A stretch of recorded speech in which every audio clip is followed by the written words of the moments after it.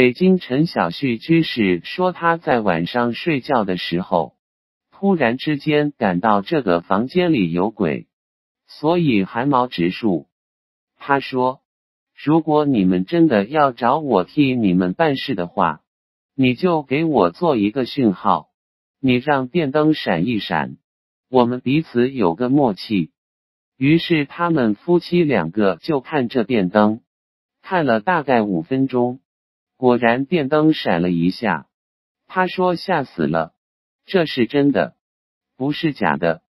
怎么沟通？”他说：“你晚上托梦给我好了。”所以他就睡觉了。果然，灵就来托梦，告诉他好几遍，不是一遍，说：“我们是你们家的草木，我们需要水，我们快要枯死了。”这个印象很深，他自己彷佛感觉到许多小孩的哭声，真的像挨饿时候的哭声，不是一个，是许许多多小孩的哭声。第二天早晨醒来的时候，他到院子一看，果然那些小树和草没有浇水，他就拿水拼命去浇。他爸爸看到说：“树和草不要浇。”浇花就好了，他也不说话，就拼命浇水。因为说了，他爸爸一定骂他迷信。这就是草木有灵性，只要是生物都有灵性。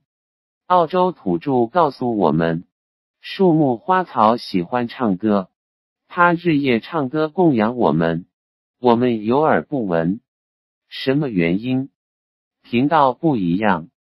他的频道播出来，我们的耳根故障，收不到他的频道。澳洲土人都会欣赏，可见得他们的耳朵比我们厉害。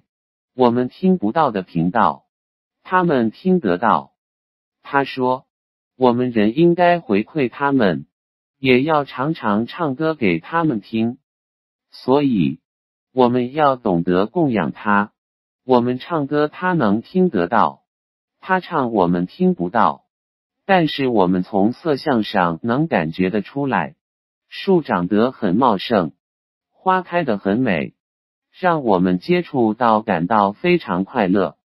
这些植物喜欢听音乐的这桩事情，很早就被人发现，这有科学的证据。所以有一些人养花，在花园里面放音乐。花就开得特别美，长得特别好，真有这个效果。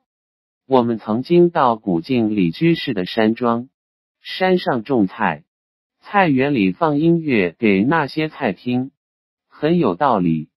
我去看了之后，我建议他放佛号。我们要怎样去对待这些植物花草？我们懂得音乐供养，懂得爱护尊敬。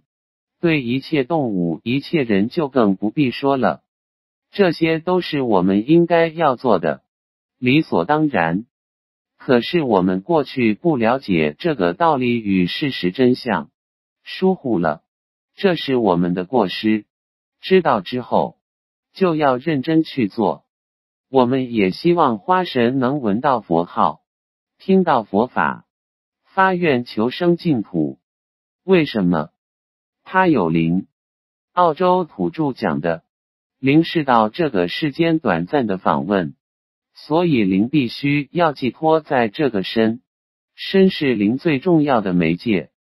这个身失掉了，灵又会去另外一个身。一切动物生到这个世间来，也是灵找的寄托。